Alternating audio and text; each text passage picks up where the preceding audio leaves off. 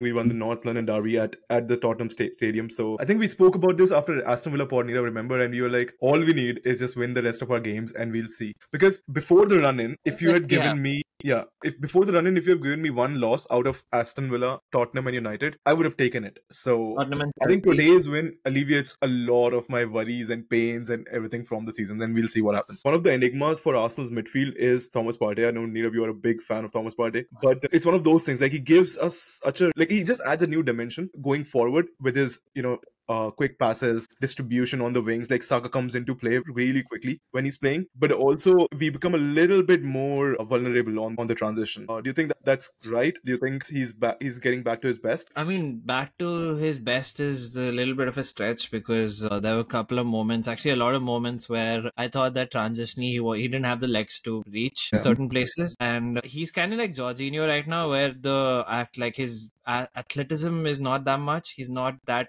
crazy of an athlete as he used to be before. He was a very press resistant player almost like two years ago, but as of now, he's not as press resistant as he used to be. But again, he gives us so many other things in play that other players don't. There's so many Yeah. things that we can take out of Thomas Partey that Jorginho can't uh, do that.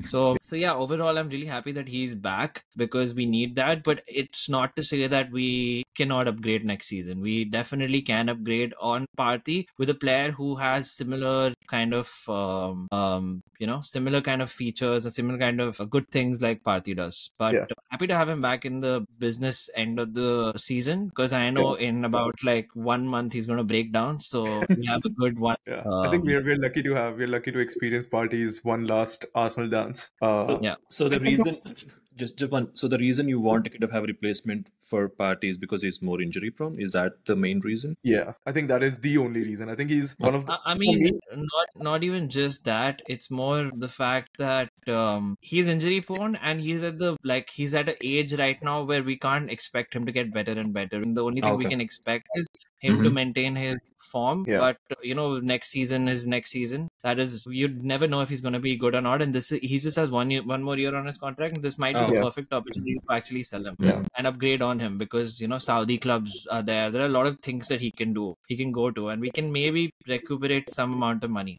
He's also Yeah. on really high wage, so for sure. but nonetheless, he's given us a good push. Like for these last Yeah, two yeah. games, he's been enormous, and I we think- have to start into the rest three as well. I think if you look at us, uh, Partey and Rice, and you could clearly see the differentiators between the two in their gameplay, right? Declan Rice, great interceptor. He would tackle, he would run with the ball, he would carry the ball, he can make the passes. But those long verticals and just the transition element that Partey causes with his play, I think that's very unique to him within this Arsenal squad. So he adds a lot to the Arsenal game. I mean, we can only hope and and you know just imagine what Arsenal's campaign would have been if he was available for at least 50% of, of the games that we had played until he was available. So definitely a big one. But moving on to another player who scored 18 GA, supposedly the flop of the season as per all the agents in the Athletic and uh, the worst business that's ever done in the history of football. I mean, surely that's not true, right? And nobody wants to Um, defend him. I think Abhinav, Abhinav won't defend him because obviously rival player. But Neerav, come on, Havertz, how's, how has he done? Uh, I'm going to talk about this. I'm trying to solve some technical issues. You guys Okay. uh, go ahead talk. about. So,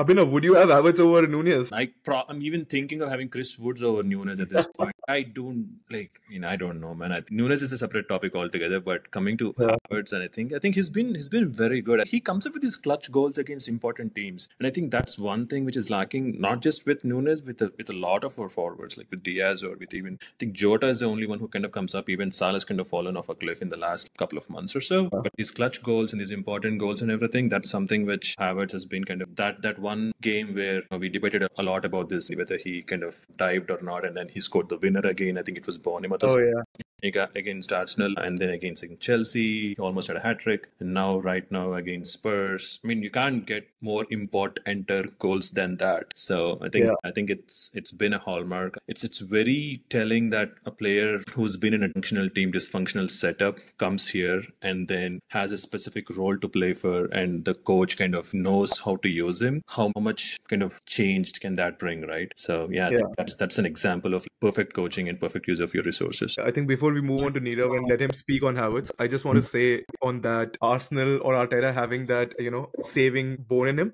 Hmm. The next player I want to be saved is Marcus Rashford. Just by the way, I like. I No, really take would- Nicolas Jackson. Rashford is fine. Rashford will come. Take Jackson.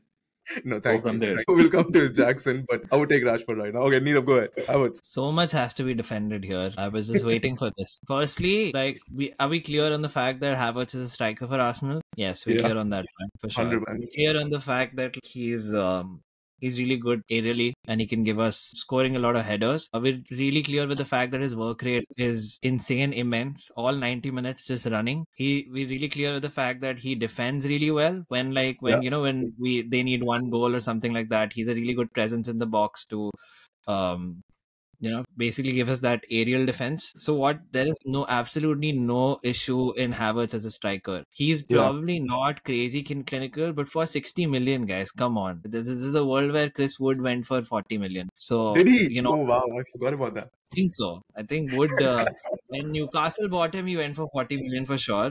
Oh my Uh, god.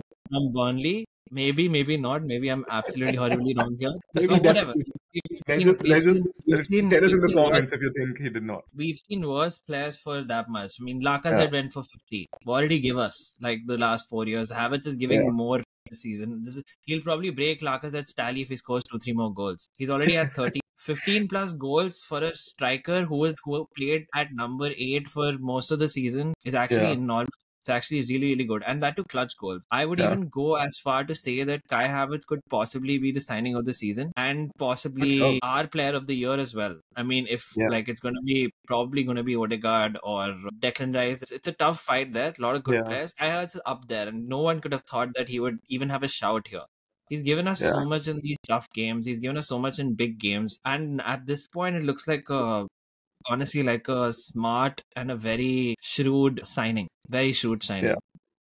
I think That I had one one- criticism of him. I have one Hmm. criticism of him about his passing, but today his long ball to Saka, I mean, that was world class. The ball, obviously, Saka's control and, and the finish, everything obviously added to the fact that it was a great ball, but it was a perfectly timed ball and he, he crossed it and it was a goal, which was basically the differentiator. So I completely agree. He's definitely one of the up there among the signing of the seasons. And the best part about Havertz is that he gets on with everything. He has no disciplinary issue. He has no separate ego or something. He seems like a nice guy who just wants to come play, gives it all for the team. We've Yeah. heard Jorginho also say that like he's one of the most hardworking people. We've had Ramsdale dad. I mean, I'm just giving you small examples of people praising Kai Havertz who actually hates Arsenal right now because Ramsdale is nowhere and no one even cares about him anymore. But he's um, uh, he's also come out and praised his work rate and how he he's so involved within the club and he's getting so much love there. So they, these things are really good. And he scored two goals against Chelsea. That's even if he could have scored zero goals and just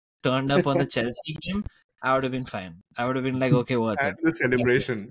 Come on, let's the go. Scored against our two rivals in two games back to back. He scored against City. Everything. He's done everything, Everything. that we can ask him to do. Only thing left is to score a banger header at Old Trafford, and I think it'll be complete. So let's Yeah. end this on that happy note and move on to our rivals because I don't want to jinx it any further. Yeah, I want before let's just talk like a little bit about Raya because we were just talking about new signings. Yeah. Um, Havertz was a new signing. Timber was the other signing. Declan Rice was a signing. Declan Rice definitely a hit. Yeah. Havertz definitely a hit. Timber hasn't shown up, so it's jury still out. Raya, on the other hand, a hundred percent, I would say hit because of the reason that he gives us so much calmness. Now you'd think that this is such a funny statement coming today because of what he did, No, no, no, um, but he gives us so much more calmness than Ramsdale. He gives us so much aerial presence. He's so much more of like a for one bad thing that he does, he does so many good things. And I feel like the Yeah. job of a goalkeeper in a possession based team is probably one of the hardest. And that to a title chasing goalkeeper. He might have to make 20 decisions, 20 tough pass in that situation to evade Tottenham's press. He did 19 of those perfectly. One place he slips up, done. If a striker Yeah. slips up one time, you don't remember. When a goalkeeper slips up one time,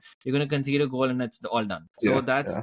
that's aside. I don't think there's any criticism of him today. Right after his mistake, he went on. He caught all of Tottenham's crosses. His presence is so good there, and Tottenham literally played into his hands. He just went there. He caught it. He caught it. His Yeah. hand span is so big. The way he just His commands balance that. is so big. Like he can just he's, he's like a cat in the air. Like he Yeah. Catches the ball and then he's he just does land properly. There's no awkward landing. He controls the ball, keeps it close. Yeah, I agree. I think to And be honest, if I were to rank him in the Premier League, Alisson is clear top, right? Alisson is great with everything, but he's Mhm. close third or close third to Ederson, in my opinion. Not in terms of short stopping, maybe not, but everything else that things that he brings to the table, I think he's he's close third. The last year, Raya was like FotMob, like highest rated goalkeeper. Even for saves and all, he was right up there for Brentford. This mm-hmm. year, he's gonna win the Golden Glove undoubtedly, but that's not all on him. It's also on Saliba Yeah. and Gabriel, and generally on the defense. But just seeing Vicario today, the comparisons are so clear, right? Like Vicario is Yeah. an amazing shot stopper. I get it, but th- just doesn't command the penalty box at all. And he was Yeah. probably in the team of the season in the first few weeks. So that's why I like, mean, to even in combined 11s, you would see, like, especially it's funny, you would see three out of five or four out of five defenders, including the goalkeeper, being Tottenham players. And I was like, what is happening? And clearly, it was not the case, especially Vicario. Yeah. the whole Benny White played point of the, the whole thing is that Tottenham how they play and I will get to Tottenham it's it they need a goalkeeper who has to be good at the penalty area and to command it because that set piece like the amount of goals they're conceding with set pieces is insane yeah let's go Yeah. to Tottenham sir. So, who who was the standout player for Tottenham? I mean, if there was any. Uh, I think for me it was Kulusevski. Kulusevski played really well. He had Tommy on the burners. I think Tommy also had like a really poor game, especially the first half. Second half he kind of stabilized a little bit, but first half everything was going through their right, our left, and he was a little bit sloppy. Maybe because of his role, a free flowing role where he could just show up anywhere and he'd be fine. But other than that, Kulusevski or maybe Kulusevski himself, like who was your Tottenham standout player? Because they did come back to right. They were very close to just making it level on the day. No, but they did come back in the sense that I think both of them were mistakes. I mean, it's not something that they've kind of created or enforced from there. I think the first one was a mistake, and second one was like a penalty out of nowhere. I mean, yeah, I think there was some pressure, and I think, but that pressure was more self-inflicted in in a way, like individual mistakes. I don't think Tottenham performed as well as I mean, normally they are good as a team. Like I think they kind of build up and all of that. I think they were actually good in the first half in in, in some ways, in some phases where I think I saw Partey was kind of taking too much time on the ball. I think they created some quick transitions and all that. But I don't. I mean, I, they were always held at an arm's length. To be honest, I think Kulusevski maybe that guy was kind of a bit okay, but I don't see anyone kind of stand out in Tottenham's performances. To be honest, I think it's basically the pressure that was in the second half is maybe because it, it's in their stadium and because it's the nerves kicking in, but. Tottenham were kind of average, and it, I think it basically showed where Arsenal are and where Tottenham are, and even with all the rest that they've gotten, and Arsenal is supposed to be like you know a bit like you know exhausted or whatever. I think, but the class just showed. I think it was one of those games for me. I remember in the past three seasons, whenever we went against City, we were always close. Mhm. Uh, we were always playing well, but they had like you know either a red, we got a red card, or they scored like a last minute winner, or it was like like you know they didn't deserve the result, but they always got the result. Mhm. And especially in the first half, it was one of those games where for me Arsenal were pretty below average, Mhm. and Tottenham were uh, you know we were letting them come at us and had like a mid to low block Mhm. but that was fine because that was tactical the problem was we weren't able to get out of it Right. we were making a lot of sloppy passes we were making a lot of uh, you know misplaced passes and that kind of led them to attack us a bit more Mhm. but were you disappointed by Ange's tactics or personnel or anything like that Nirav? do you think they could have done better or do you think it was just Arsenal's Arteta's masterclass on tactical decisions I think they set up pretty well. Like they were on it. The crowd really supported them. Kulusevski, as you said, had a really good game. He was on it again. Richarlison, I thought was really good. Uh, at like when he came on. But then again, the weak parts of Ange Postecoglou's system are so weak right now because of the personnel that it's easy for teams to pick that. I mean, the team strategies get like like narrowed down. They're like, okay, we have Yeah. to do this, and we keep doing this, keep doing this. At some point in time, we're gonna succeed. Unless and until Spurs score, you know, three, four goals or two, three goals in the first thirty minutes, it's always gonna end badly. For this type of a game, I feel like he needs new personnel, better. Uh, you know, he needs some more time. I think I'm actually not a big fan of this sort of like a view, but um, this sort of like tactic. But still, like I feel like uh, he needs more time, just like Arteta got, just like every other manager got, to see more of like how this style of play can actually end up winning a lot of football matches. They did win football matches, but I feel like big matches when it comes to the Champions League or, or you know title winning games or something like that. Top even top four battle uh, games of high intensity. I don't think Yeah. Tottenham are that equipped right now to do it that way. And the fact that he does not have a plan B is is interesting. As like I would say that like Yeah, I, I, yeah. There are some places, sometimes, some occasions that you have to just like Arsenal, right? There, there are different tools to the team. We saw Mhm. today that it was playing like Mourinho side, but it worked out, right? We didn't have to do Yeah. anything. And against Chelsea, we did everything that we always do, like possession based attacking. And today we didn't have to do that. So I don't think that Spurs have done. Spurs have just played one way, slowly and steadily figuring that out. They they're getting to know that this team does not have any other, you know, tool. So we are just gonna we everyone knows what to do. There's a blueprint of facing and that's not a Yeah. good thing right and, now. and Arsenal Uh, have those tools because again, I think it's the same team for the past like three, four years. I mean, same management, set setup, and everything. Right? I think it'll take some time. It'll definitely take some time uh, for Poster Ange to kind of come to terms with what Tottenham can do or cannot do, and then kind of develop a blueprint of sorts to see like you know to have alternative approaches to the game. And I think this season they're on par with their performances. I don't think they'll be too disappointed to be honest, because with the new manager and everything, we can judge him properly next season if they've developed that maturity or not, and see Yeah. where they are. I think I think they're on the right path. I think they have a good setup. The stadium is nice. The good revenues. They don't have a lot of FFP issues. I think. I mean, if I were a Tottenham fan, I would be sad today, but I'd be optimistic about the future in terms of like you know what's going on. Okay, let's move on to the probably the champions, four time four peat. Uh, they hmm. won two 0 Haaland is Why back. you don't want to you don't want to to pool? We'll, we'll come to pool. We'll come to pool. We'll come to pool. But we have to dis- discuss the slotting machine that's gonna play out at the at the Anfield. So Plotting we'll to. Jesus Christ. but but but before that, I want to ask you this way, right? Okay, City won, Nottingham Forest. Probably some people call it we have banana skin, given you know they have the us against them mentality right now, Nottingham Forest. But didn't turn out to be that way. They played well, so game was fine. City won. Uh, but I want to ask you, given their winger situation, right? We saw Jack Grealish, Doku. Doku was replaced at halftime. Jack Grealish didn't have a great game. They brought in Oscar Bobb and Bernardo Silva were playing on the wings. So clearly they lacked someone to make a difference. And in comes Cole Palmer. Make a case for why Guardiola let Palmer leave. Nirav. Case for that, I mean, you can't have every player in the world, right, in your team. At some point in time, you'll have to let good players leave. It happens all the time. He let Jesus, Zinchenko, Sterling. Cole Palmer, let's be real, he wasn't really starting for City. He was not going to be a starter. That was Mhm. not Yeah. happening. It was not. It was just not going to happen. It still won't happen. Even if even if we now know that he's a very talented, good player, but still, I don't think Do you he's. think he uh, won't? I mean, he won't. Do you think he won't? He wouldn't have started. I mean, hindsight is twenty twenty, but Doku hasn't had a great season. Grealish has been basically out of the team or injured, and they don't really have another winger, out and out winger. If I look at their team sheet, See, I'll, I'll tell you this though, right? One thing Guardiola doesn't do is rush players. If you've Yeah. seen how he has done, you know, he has kind of developed Foden, for example, over the prime years. example. Yeah, there is every reason why maybe Foden came in, burst into the scene like what three years ago, maybe, and he hasn't played a good amount of matches in the last couple of years, and there were all these pundits and everyone saying that oh, Guardiola is hampering his development, he's doing all of this, and you know Foden's kind of is supposed to be the next person, local guy, all of that, but he didn't listen to any of them. He just kind of did his part, and you see where Foden is right now, right? I think that's basically that's the patience. What you know, he doesn't differentiate, right? And I think, and again, I think Guardiola himself admitted that in one of these interviews that he wanted Cole Palmer to stay. He really wanted him to develop more, and I think to kind of understand his methods more and all of that. But that guy, I don't know what his associations are with the club and everything. Maybe he had better options in a in a, in a, in a different club, and maybe right now he's shining so much because of the dysfunction that is there at the Chelsea. He's he's a Yeah. good talent, absolutely. I'm not saying no. But say if he had gone to a different club, or if Chelsea were more structural, more structured and everything, he wouldn't have been in the spotlight so much. Like maybe his goals would have been shared by other strikers or other people and everything. It's it's just I don't yeah I mean I, I as I said hindsight is twenty twenty I get that but I think right now there is no way to say that Palmer would have you know added more to this team. There, is- a reason why Guardiola didn't play him. He wanted him to develop more and I think it would have taken a couple of years for him definitely. And I understand why Palmer wanted to move but that's it No, I agree. I mean, to be honest, I remember doing a pod Mhm. and we discussed whether Cole Palmer was overrated or underrated. yeah And obviously, by my reaction, you could tell what I chose. I saw, I thought that he was overrated, like 40 million for a player who hasn't played anything. right right Uh, but then look at him now. He's all he's at the top of the ch- goal scoring charts. Maybe now Haaland took over because he scored today.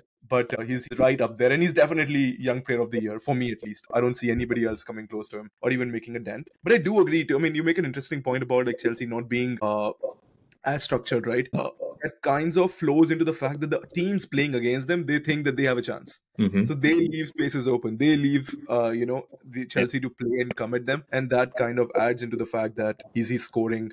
He's on a great scoring run. Yeah, So- yeah, he's he's overperforming this season for sure. Let's see where what his consistency is with. Because I'm- I'm hundred percent sure there'll be a new manager at Chelsea next season, and let's see like how. He, Oh wow. yeah, No Pochettino for you. uh, no man, I think it, Pochettino is done. I think it, there is no way he's going to continue with this kind of football and everything. So yeah, okay, we'll see. We'll see next season. To be honest, I mean, I, I have zero sympathies for a club like Chelsea, right? Like, they should get relegated. So, not going to play devil's advocate here, although this pod would seem otherwise given the topics that we are lined up next. But I do feel Pochettino has not done a bad job. Like, he's, a, he's not a title winning manager. So, obviously, he lost the final and all of those things were, you know, reflecting bad on his CV. But I think he steadied the ship in a decent enough way. If they had just converted their chances, they would have been better. At least the underlying metrics stay, says that, right? I, I think the answer is right there. What you said, right? If he's not a title-winning manager, do you think Chelsea want him? Like, if, if, you're, if you're not yeah. competing for the title, if you're like eighth and ninth and tenth, if you okay, Yeah. I understand if Pochettino at least was like at fourth or fifth,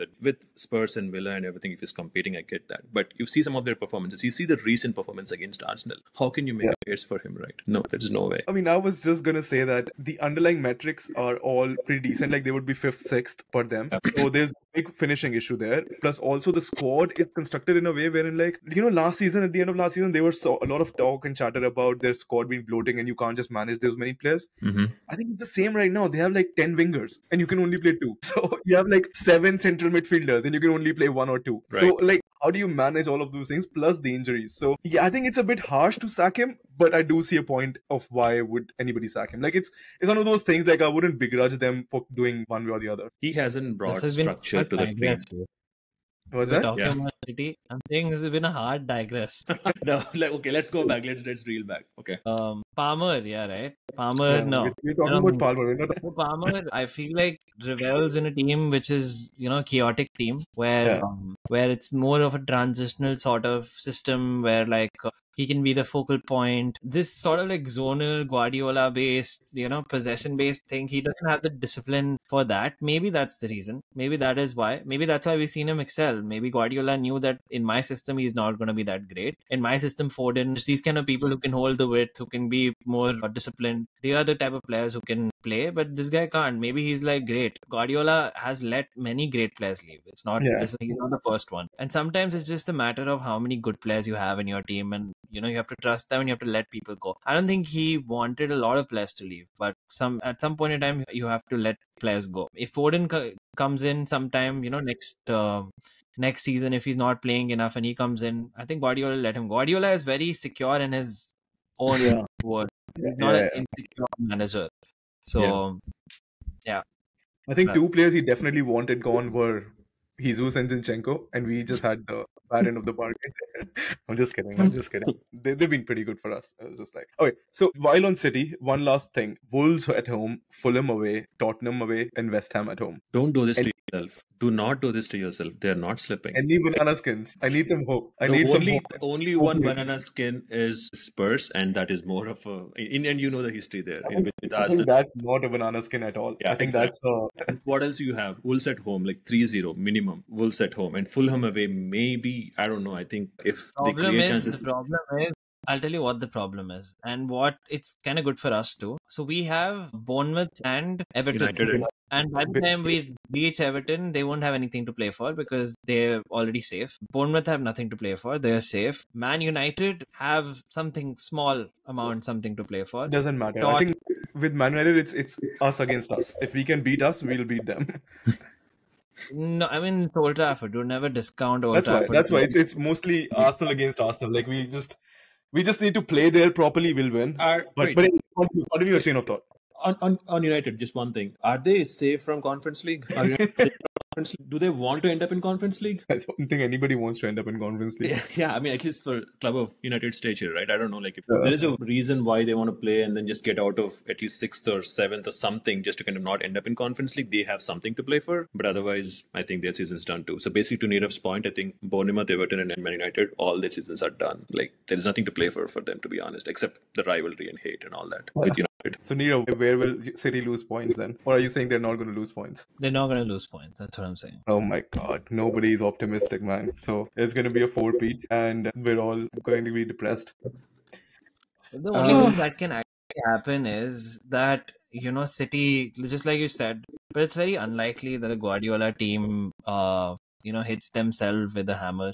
It just never happens. The only thing that can happen, maybe they have like a minor collapse eh, uh, against Tottenham. Tottenham have something to play for. I don't think even Tottenham have anything to play for. It's just it's um it's complicated, man. Like they the fixtures they have, nothing gives me confidence here. Yeah. wish- Like Nottingham Forest today were good, so I wish they had like a Burnley or like um I don't know.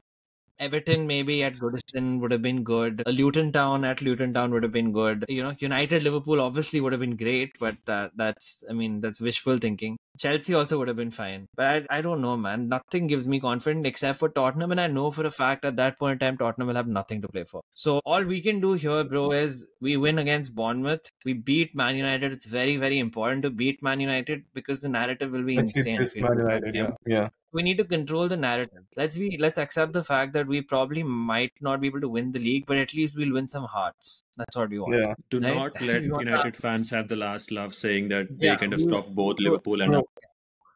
There, there's no way United fans can have the last laugh. Even if they beat us, they'll end up sticking with Erik Ten Hag. So there's no at, this, at this point of time, they're shameless. They'll, they're nothing. They laugh at everything. I'm telling you, there is okay. It- It's it's it's like you're you're already completely submerged anyway. There is nothing for you to kind of think that oh no we are already here. No, nothing. They'll just kind of laugh at the misery of other people at this point of time. That is basically stopping Liverpool from winning the league at from Old Trafford. They already did that. I'll do that every day. And if they stop, if even though you're technically not in the title, you're not done. But if they stop you from, if they beat you at Old Trafford again, that's one more thing. We stopped both Arsenal and Liverpool at Old Trafford. Okay, let's make yeah, a case for controlling, United.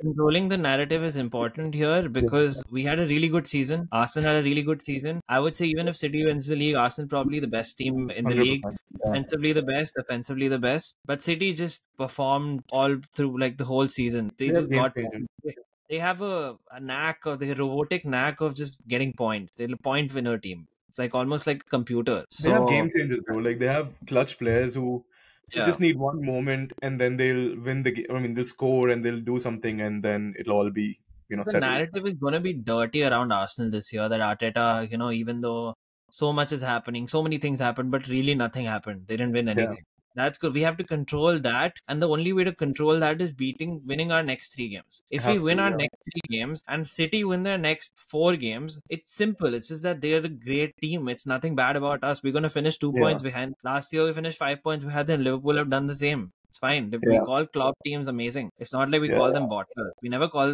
the Klopp teams bottlers, right? Would you Yeah. call the 97 whatever the 97 point team Okay. bottlers? No, you wouldn't call any team bottlers. Klopp has always been a bottle job. There is no No, way you're going to get any reaction from me for that statement. I am in that Zen mode right now with Klopp. I'm No, not one thing for sure. bait. No, We no, know- I mean, uh, even I don't believe it. Even I don't believe it. I just said it for No, one like, you know, ruffling some feathers. Dude, we we know one thing for sure. Chelsea are not managed well. Like the ownership they have are still learning how to own a football club. Manchester United just got into a new good ownership, but they will take a lot of time to flush out whatever shit they already have in house. Man City have Pep Guardiola right now, but after winning this league as well, I don't know where their motivations lie. or What what is going to happen next season? I feel like now finally there could be no motivation or less motivation. Pep Guardiola himself, we never know what he does next season. Uh, probably his last season as well. Liverpool transition, complete transition, and Tottenham will always Tottenham. So I know one thing for sure that next year, next to next year, at least the next three years, Arsenal are going to challenge at like a really, really strong, good level. We're going to buy again. The owners are going to give put in more money. We're going to buy star players this time, not even like rare diamonds. We're going to buy straight up star players like Declan Rice. We're going to have a couple of those signings. Like Gonna go ready-made, again. ready-made fit in the squad players. Ultimately, out of this Arteta era, what we need is we need one Premier League and one Champions League. That's all we need. We need one So we one need champ. two. We need have- we need two of either No. one. We No. need two of either one. That's all we need. No, we need one Premier League. We have to win the Premier League and we have to win the Champions League. That's it. We win both these competitions even once doesn't matter. It's successful hmm. ultimately. Fair. I mean, it's it's Klopp- already yeah. success, but If yes. someone says Klopp's reign is not successful, they're just crying ultimately, Yeah, right? yeah. They're saying that like, okay, whatever, like he just won one Premier League, one Champions League, whatever. But he ended up celebrating every trophy that he, except for. Europa League, he celebrated every trophy. That's it. That's what matters. It's successful nonetheless. They're winners. So on this point of Europa League and the fact that two clubs have new ownership, who do you think Europa League or needs Europa League more, United or Chelsea, given their whole situation, dynamic, club building process, everything? Neerav. Uh, I It's just three points between them. So and Chelsea have easy fixtures. United have Arsenal. So anything can happen. They have a better No, goal United have, United have easy fixtures apart from Arsenal. There, it's, it's there. Yeah. it's. I did this calculation and I see no reason, no way how Chelsea is going to finish above United. Chelsea right yeah, now they is at, could if they wait, wait. They have like six. They're six Chelsea- points behind, and but they're only like one game behind. Like okay, they have played one game less. So they have one Chelsea game left. Chelsea have Spurs and Brighton. Oh, screw Brighton, man. What Brighton is not the team, man. Yeah.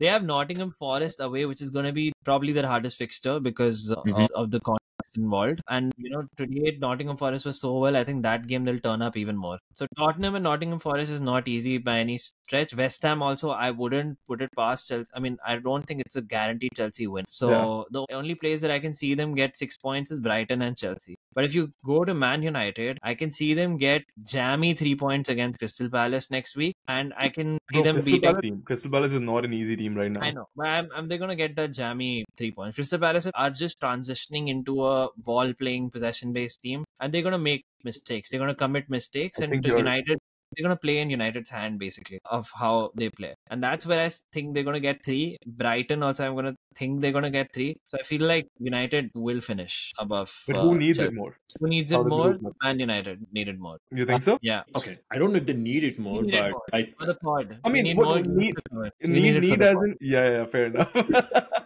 I think I think I would love to force the other two guys watch conference. I League. wish they So- finished in the Yeah, Champions League. that exactly. no I less. just want them to be in the Conference League and then just get Yeah, I just suffer through it, really right? want to do the conference league. Just and United to then be in, yeah. And Chelsea would need Europa League just so that all of their squad can play at least one game each every now and then. So all of their like 25, 30 people, whatever they have in their squad. But yeah, I think Chelsea United in the Conference League, hopefully. Yeah, we'll see. I think Yeah. for me, I think Chelsea needs it more because United, I don't know, they can still anything in Champions League is kind of like a failure for them. But for if they get Europa League, I think it gives them real wings to back the project Mm-hmm. and bring the fan base back on at least on the surface Yeah. or like just below the surface. You know, I think that club is so dull right now, and I love it. Long may it continue. Yeah, honestly, Chelsea can do with the season with nothing. Also, they can do with the Yeah, season with yeah. nothing. Because anyway, they have like a lot of. I feel like United getting into this new ownership, getting probably getting a new manager. Hopefully for them, they're gonna want more fixtures. They're gonna want the new manager would want Europa League to you know try out the youngsters. They have to Yeah. try a lot of things out next season. They have to be on like trial and error, sort of like a season. and this is where they have to. They need more games. They need more inconsequential games. I think another factor is FFP. I think from an FFP standpoint, both the clubs are kind of like in a turmoil. United are in a United pretty are bad not- situation. United They'll are never, good. ever, They're, they're ever revenue and everything, they're good.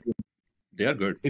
It is, it is, but they still haven't been able to buy a player. Like you remember last January, they got Hmm. Weghorst on loan. This So time the they got the whole reason for that Abdul was because the ownership the ownership was in like a limbo and Mhm. they didn't want to commit money they didn't want to commit things anyway united Oh, was in okay. debt at that point. Now Ratcliffe coming in you know he has his he is using the revenue to actually he will generate money and he will give a war chest to united. Yes. now they now they have a clear ownership. They have an investors coming in. So it's now it's going to be clear. Now they're going to buy players. The only good thing they can do right now for their club is get a good manager. And Yeah. that will put United somewhere above, up there, because they have good background staff now. They have really good directors up front. They have every everything is changed at that club. So if a good manager, a, a really smart, you know, like a Klopp, a guy who can connect the fan base to the team is Mhm. there and connect the whole structure to the team up to down, that kind of like a presence is needing. That kind of which Ten Hag is not. He's not Yeah. that. Ten Hag is something like. And I Okay. think Tuchel would be perfect there. But Before moving on to Chelsea, I just want one topic, my favorite topic. I think two of my favorite players from these respective clubs, their star strikers signed in January, one for 72 million, one for 36. Nico Jackson versus Hojlund, who is having a better season. Not talking about potential, not talking about the future, just who's had a better season, or have they been both flops, both hits, or both like whatever? Any opinion? I think Hojlund is marginally better compared to Nicolas Jackson. I think maybe it's recency bias, maybe it's all those the misses against against City and, and all that's happening with against Arsenal and everything. Maybe that's kind of playing in my head right now. But I've never seen a striker so dysfunctional in front of goal like Nicol- Nicolas Jackson, and I see Nunez every day. So I, I, I don't understand where the hesitation comes from, where the reluctance to shoot comes from, and it, it's something which kind of blows my mind. Like, and the worst part is he gets into those positions, he makes those runs, he Yeah. tries, he gets into the position, and then after that point, it's done. The brain capacity is gone. You don't know what to do with the football. You don't know where the goal is. You don't know who's behind you, ahead of you. You don't know. You don't even have the strength to pass the ball. That one chance he had against City in the FA Cup semi-final, right? I think he went through and he could have chipped the goalkeeper. He didn't do that. Fine. He kind of went sideways to the goalkeeper and he fucked it up. And then the last option for him was to play a normal, simple pass to the people who are kind of coming behind him, and he couldn't do that properly as well. And I think again, this is this is where these, these are the things you cannot coach. Like these are these are the things which you have to have them inherently right. And that's where I think I mean because you can make that you can tell a striker to make those runs. You can tell them to kind of you know you know uh, work with your uh, midfielders and kind of have this have that connection and everything. But these things are something which you have to develop by yourself. And I think Nicolas Jackson doesn't have any of them. And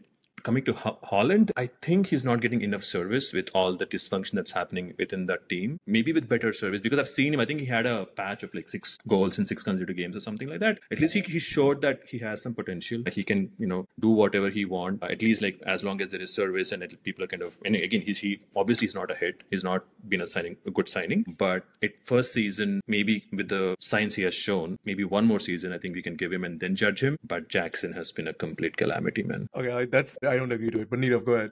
Your opinion on the two. I mean, if you see the stats, Jackson's done marginally better than actually better than Hojlund. But I feel like players who perform in Europe are actually good players. So I feel like Hojlund has performed in Europe. He scored goals, and in the Champions League, he has that. He is more of like he gives me more hope. Like for him in the future, Jackson again. Like Jackson is like he. We already have labeled him as a bozo, so I can't see past that anymore. I can't see past the fact that he's like he's just a bozo who's gonna miss chances. So kind of like a Yeah. burner, kind of like s feeling that he gives. Um, also I'm gonna- that that penalty farce, right? The whole thing that happened with Palmer, yeah, yeah. it That tells me that this guy is not mature enough right now to to be a player for such a big club. And Hojlund, I think, has that head over him. So that's why Hojlund will probably, if you had to put your money, Hojlund probably going to have a better career. I think I don't disagree with any of you. I think both. To be honest, for me, both of them are in the same boat. Either they are okay signings or they are flops. None of them is one above the other. But I just want to make a case for Nico Jackson, wherein like I think he's he's basically coming from he was a no-name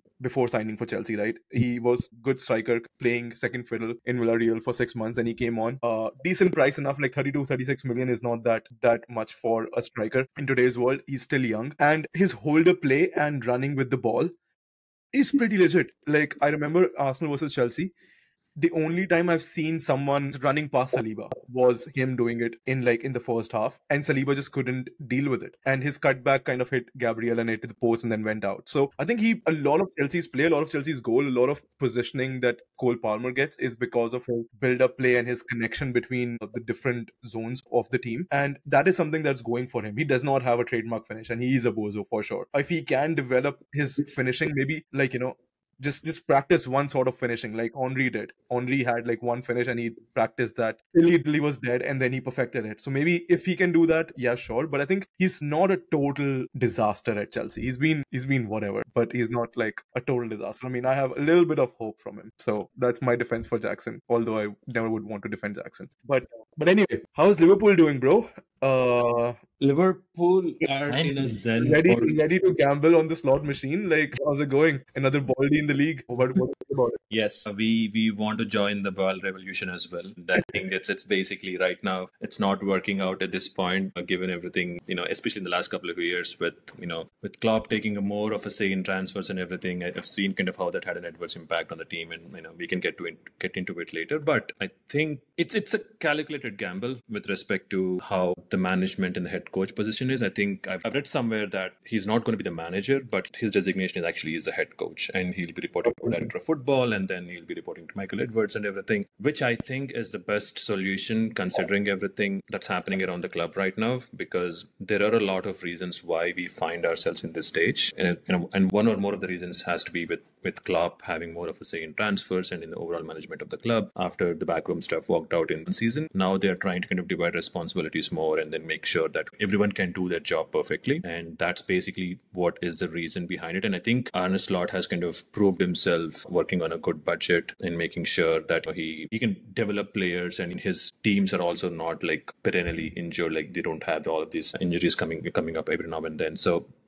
I think he's proved himself with respect to what FSG wants in the head coach position. I'm not saying it will work amazingly, but I'm really excited to see what kind of new shape and new formations we'll play and then how we'll kind of develop players because there are there are a lot of players whose careers are kind of right now in that question mark or in that limbo zone sort of right now because especially with Salah and you know Van Dijk and everyone because their contracts are up. We only have one year left on the contracts. We want to see what the role is for Trent because if Trent stays, he's he will be the next captain. Sent. Yeah, we want to kind of look into all of those transitions. So I think it's a good thing and probably the best thing we can ask for without Klopp because there can never be another Klopp. We cannot have yeah. So we'll see. Nirav, do you think there's a there's a larger issue at play here with the lack of proper managers? Or when I say proper, I mean like well-known managers who have won something, who've been at bigger clubs, and their willingness to move. Like I, I remember we did a section where we decided we kind of like you know contemplated where all these big managers can go, but none of them is kind of going anywhere at this point of time. So do you think Arne Slot, were you? Me, me,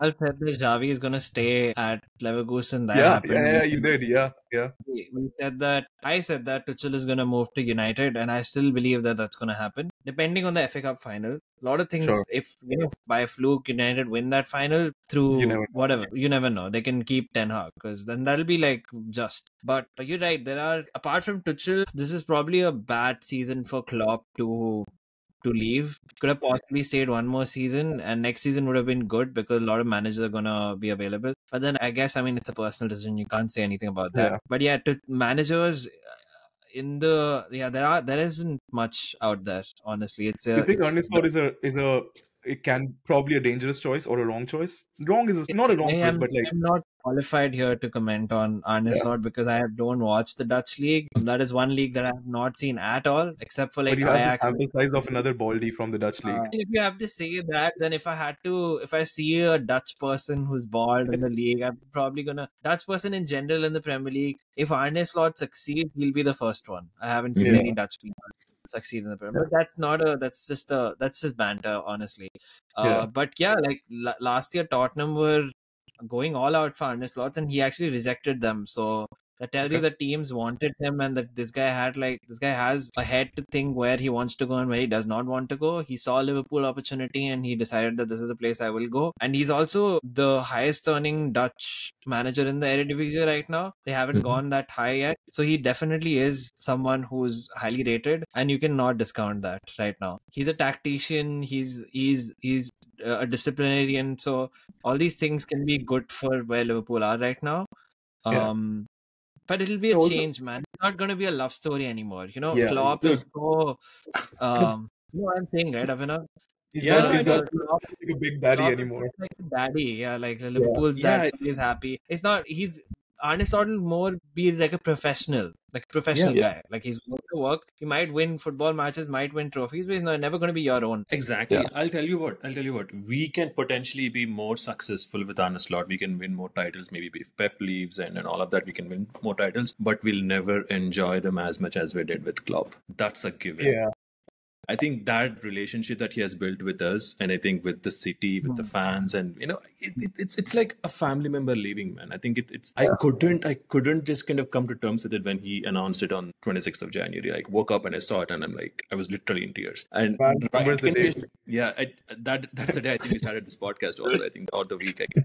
So it took me a lot of time to come to terms with it, but having come to terms with it in some ways right now, I think it actually makes sense because there is again we can't clone. We, there is there can never be another Klopp, and I think given everything that's happening around the club, and I've seen how Klopp's influence also was kind of a bit waning in the last couple of years, especially last season was a disaster. This season, I think we did good. It's fine. He was taking more and more responsibilities, and the team is also not as structurally set up, and it's all kind of all over the place, sort of. And we are kind of winning big based on the influence, and somewhat we're kind of looking the results every now and then. I want more structure in the team, and I think that is probably going to come with someone who has kind of proved himself in the Dutch league. And again, there are dearth of managers, definitely, but we have to do with what we have. So Yeah. Yeah. I think I agree with the fact that, you know, there's something special with winning trophies with someone who's brought you from the ditches, Yeah, right?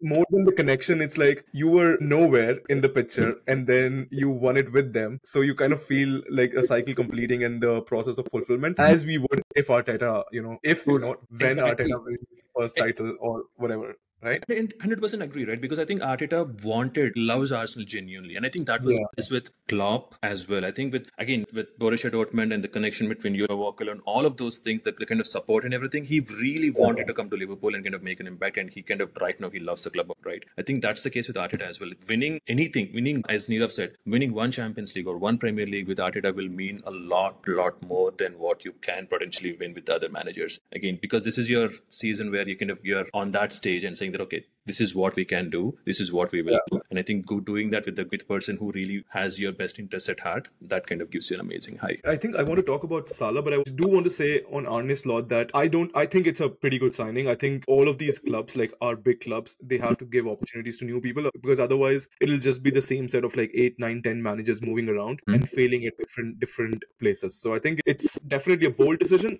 but it definitely has the opportunity to be a good one. Right. Uh, but will it be a good one with Salah at the in the team or not? That is the question. Uh, I think this is that this is a crossroad situation with Salah, right? I think if right now, if you ask me, I really think we should sell Salah. To be honest, we should kind of get whatever money we can get for him because again, only because there is Dutch league who's going to pay 100 million for him or somewhere close to that, Yeah. right? No, not Dutch league, sorry, Saudi league.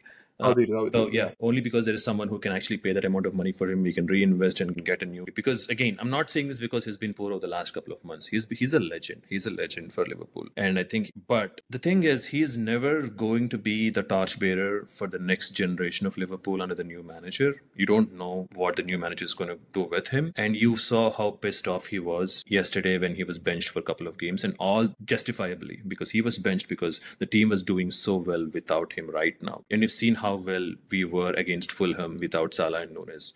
It, it's not working. I mean, it's just it's not working right now, and we don't want probably to kind of not to, we don't we don't want to kind of have someone on the team who was not pleased with their position and their role in general. And this probably all things considered, his his, atta- his attacking output is also kind of declining a bit. So this is basically where we can just sell him, get some good money, invest again, and then get a new you know front three, whoever, and then move forward. I think if Klopp's leaving, I really don't mind anyone if anyone else is leaving. Yeah, Yeah. Fine. You know, you Uh, I heard a lot have- about Arne Slot and Klopp leaving and all that. Let's. Why don't we just talk about Liverpool's uh, bottle? Five points there at top. Bottled the Europa League. 3 0 against Atalanta, bottled the FA Cup, bottled the league title, lost against Crystal Palace, drew against West Ham. It's shades of nostalgia, isn't it? A little bit. When this season started, I Yes, want yes, yes, yes. I want you to say that. I I want you, to you know what's coming. AJ, shh, say it. Say it. I want you to say that. when, this season started, the expectation was expectation Not was top even four at a trophy and we top got four. five. not even top four. Say that, bro. Yeah.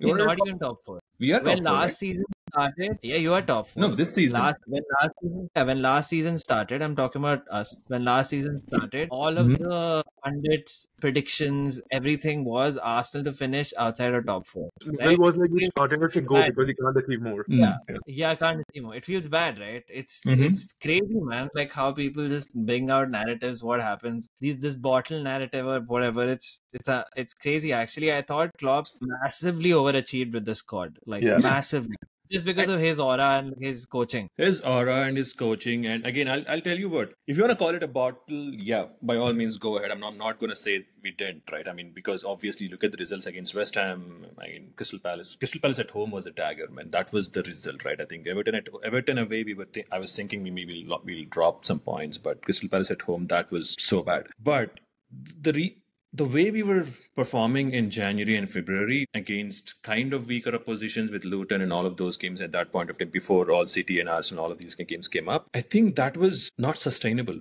to be very honest with you. I think the way we were kind of just kind of getting through and scraping through games with, with younger people and all of that. And I remember these conversations in the group itself, like Liverpool is the third best team in the league, but somehow they're still kind of leading the race and all of that. And they're, they're, they're going to come back. I mean, they they'll concede the first goal, they're going to come back. The thing is, we fucked around and we found out. That's basically what it is. Like, and we really kind of played, you know, played that part of like conceding the first goal. We were very slow to begin with. We did that against Brighton. We did that against Sheffield, and all of those things, right? So it's not sustainable the kind of football that we're playing. And now it's kind of dawning on me that yes, I mean, we are the place we have is where what we deserve. To be honest, with the football that we've been playing since the beginning of 24, to be honest, and the injuries didn't help. If Jota was there, I think at least they would have at least gotten at least a couple more points, maybe at least been in the conversation right now. Jota getting injured, Alisson getting injured, it didn't help at all. And if if you think if I think of it, and again I'm super critical of Nunez right now, all of our misery right now is kind of is central. All of the pain that we are enduring right now is because of four Nunez decisions. The first one against Old Trafford at FA Cup, we were leading 3 2. He gives away a pass for no goddamn reason, and Rashford go- goes and equalizes. The second one, he doesn't square to Szoboszlai against at Old Trafford. It would have been 2 1, game over, done. He doesn't do that. The third one against Atalanta, first leg at Anfield, easy finish. He could have rounded the keeper. No, he doesn't do that. And the fourth one against Everton, again, one more shot, easy finish. The goal was wide open. Pickford was just squatting there. He doesn't finish that. And again, I mean, I'm, I'm just like hating on Nunez, but the point is, Oh, it's you whatever really, you really keep all the bad memories close to your heart. huh? I could see where the season started unraveling because if we had not gotten knocked out, knocked out of the FA Cup before the break at Old Trafford, I'm pretty sure it wouldn't have been as bad as this. It's just a snowballing effect of like, okay, losing to FA, losing a minute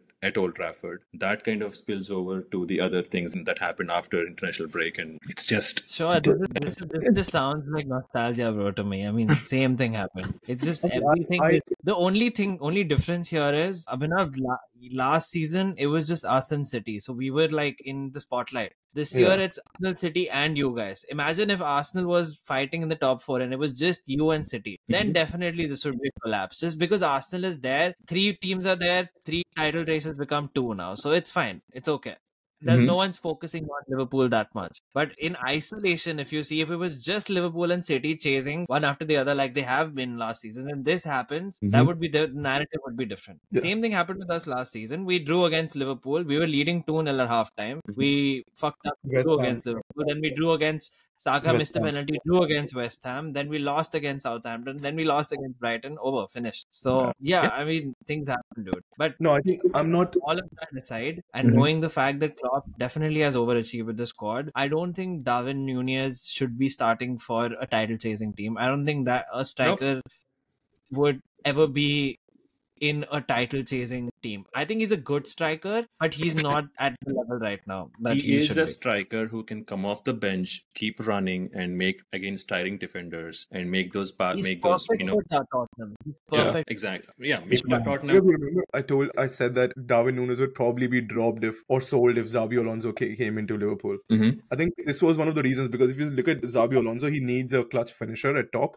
Mhm. which Nunez is not. So I think I always feared for him. But do you think Mane should have been retained? I mean, I'm going back. Oh of no, no, the air ship has sailed. I I think, think basically hindsight is also makes people very nostalgic in a lot of ways. But Mane was past his best. We had to move him in that season with the quadruple chasing season, uh, where we Uh-huh. lost those last two games. We had to move him from left wing to right into the false nine position just so that he can recover some of his pace and all of that. And he was missing chances left and right. Now we don't focus on all the chances we missed. All we are looking at is okay, oh Mane could have scored this goal, that goal, and all of that. But Mane was past his best, and it would have it was a nice of all the front three, right? Firmino, Salah, and Mane at that point. The first to leave obviously would have been Mane, and he left. There is no way going back to that point. I it's good that we've replaced him with Luis Diaz, and Diaz had his injuries and everything, so he couldn't perform to the level of Mane. But Mane couldn't have done anything. He's done. Okay, last segment. Last segment. Uh, Before that, is this segment anything about Mo? Can we talk about uh, Mo? I mean, we, like- I think he, he spoke about it. You do you want to say your words on Mo? Write his Maybe- obituary. Maybe I missed it. Maybe that's already been. No, no, so,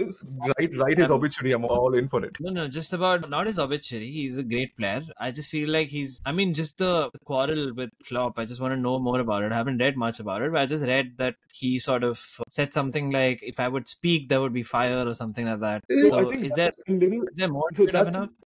So that's a little out blown out of proportion because I mean, to be honest, if you see the video of him doing it, so he was like, you know, he was walking through the press area and people were calling, you know, more a word, a word, and he was like, I personally think what he said was that if I speak anything, you guys turn it against us, and that will become fire, and that's why I don't want to speak to you. And he was laughing. He was smiling. And by think- saying so, he spoke something. That's the whole. That's the whole point. That's he, the- was, he was. He was not. He was, he was being very. Yeah, he was not there. pissed. I don't think he was pissed or anything. I think it was just the narrative that sells that is being printed. The quarrel I do definitely feel happened. like I do feel like Salah has lost a lot of lost that edge. I Yeah, just feel. he- I he's think- I lost think- that edge, lost that fire. He's lost that pace. He's lost lost. He's become unidirectional, one dimensional, sort of like a footballer.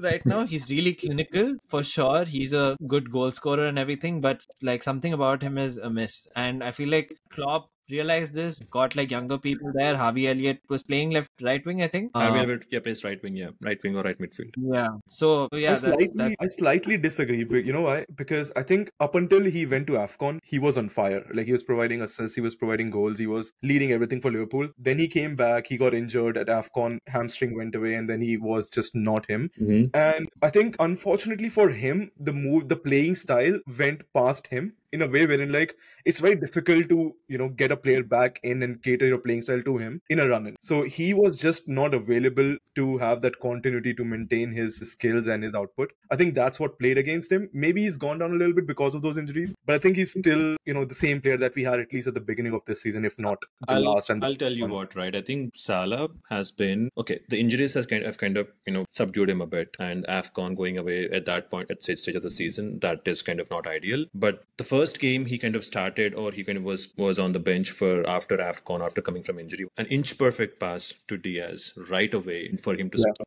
He, he was doing his part. It's not like Salah was off his mark or anything. And these small things, these margins actually mattered, man. I think if, if, if that goal was scored, if we won against City, or if you know all the things that he was doing for the team were being converted or being at least fruitful. There is there are these videos doing rounds on Twitter like what Salah has created and how the team has failed him the output by not having the output. And there is one specific video of Salah creating so many chances for Nunez only for him to kind of keep blowing them over and over and over. And I'm telling you, it's, it's I can understand his frustration, right? I mean, it, it's him and Nunez are not working together. They they are not able to kind of function together. And Klopp does what he has to do, like he has to bench him. And Salah is a sore loser when he's on the bench. he is. He yeah. kind of lashes out and everything. And I think any player does. Like even Henderson did that, Milner did that, and Salah's not doing it. But I think right now, again, I think it's a good time for him to kind of move past all of this frustration again somewhere, and then for Liverpool also, also to start fresh. And I think that's what I think should happen. But and I think that's what will happen because right now there's no club and none of that sentiment right now. It's just all Michael Edwards and more of this professional approach to things. So we'll see. Yeah.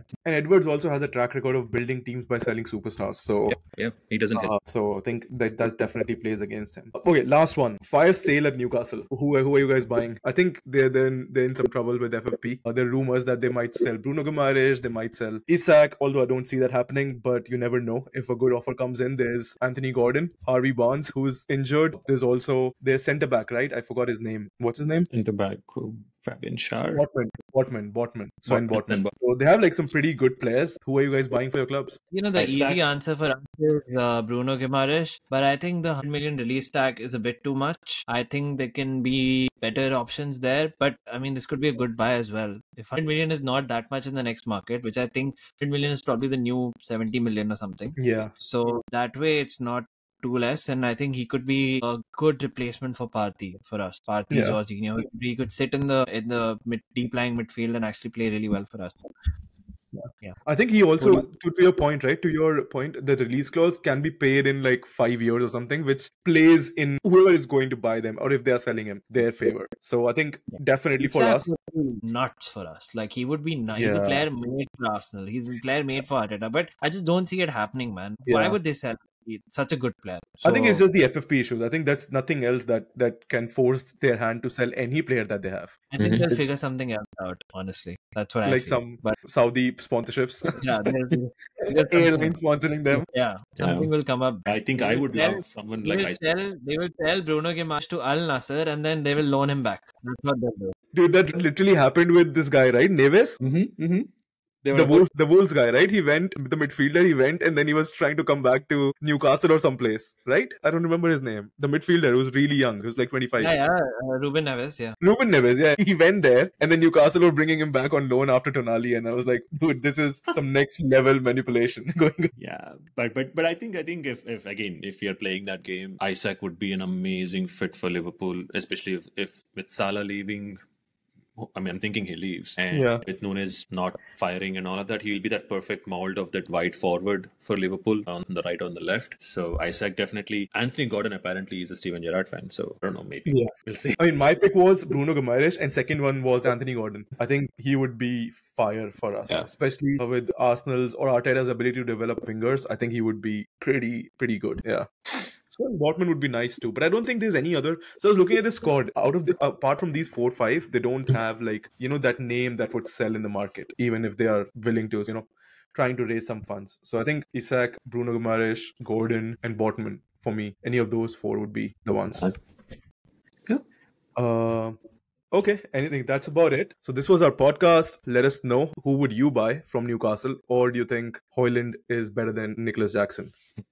Or if, you think, time. or if you think Arsenal's going to win the league. I think uh, let's not talk about that. Let's not jinx it. Nobody does that, please. Or I have- think I think with all the, I think Arsenal have had good amount of luck this season in general with injuries and with the squad and everything. And I think if some of that luck plays into the next three, four games, maybe you'll have an outside chance of winning the league. I mean, you're not just need City to drop points, right? I mean, just don't Just need you- one draw. You don't have to lose. All we need is one draw. I think we're not losing. Wait, any the games. goal difference is good? For this 20 years, bro. We will Bro, the make goal we difference is through the roof. There's nobody catching Wait, a goal I thought difference. City got some of the difference back and with uh, with No, the City no, with no, the other. I forgot we three- smashed Chelsea 5-0. I know, I know, but okay, it's plus seven. Oh yeah, But if they seven draw- is very hard to. yeah. Right now it's only like five Look, games, look, right? If we win the next three games, that's the only criteria that we might even have a chance. Mhm. Uh, we will probably get plus three, minimum plus three. Will Minimum get, plus right? three, yeah. Okay. And that'll be sixty for us, and they will need to in the last four games get plus ten. Possible, very possible, but That's what I'm uh, saying. I don't think That- we. I, No, I don't think we're gonna beat beat Bournemouth and Everton one 0 I think Just by last one year goal. Exactly. Yeah. By the way, last year Everton faced us on the last day after we bottled the league and they were already safe. Probably the same thing is going to happen this year, and we beat them five 0 We beat. So I can I can see plus three. I can see plus six there for sure. In those two, United, I don't know, maybe plus one. So I can see a plus six for Arsenal and Mm-hmm. getting fourteen in ten games in four games for City with Tottenham there. I doubt it. With the also the pressure, right? Of pressure of just If winning the game. it, if they yeah, and they're gonna draw one game. That's the assumption we're taking, right? Yeah. Right. Yeah. So that yeah. means that three So one game three is zero, games they'll yeah. have to get three games they have to get minimum ten. And if they do it, then they deserve the league. Fuck it. Like what do we even do there? No, no. All, I'm, all I'm it, saying is it. no. All I'm saying, I think there is, there can be again. This is very offhand. I mean, I, I don't have any basis for it. So maybe against, I Again, don't know. said, bro, like I said, win all of our games, win against Bournemouth, win against Everton, and beat Man United at Old Trafford. That's it. Fuck it. Whatever Yeah. happens, happens. It's not in your hands anymore. Just win, win. Three W's, and we see what happens. Yeah.